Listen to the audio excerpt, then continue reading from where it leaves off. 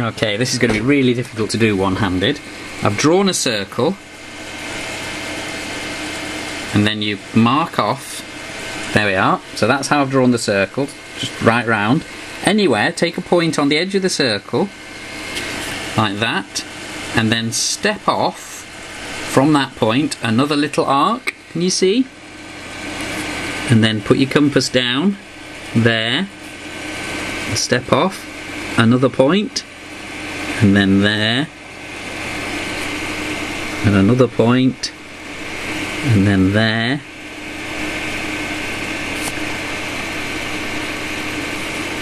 And then again. Now I've, I've got a compass that's quite good so I don't need to worry about using two hands but you'll probably need to do use two hands to do this. And then at the end it should match exactly. It's not bad. I've not done a very good job there. So that's what I want you to do. And then join those points up so join that point to that point and so on using a ruler. Okay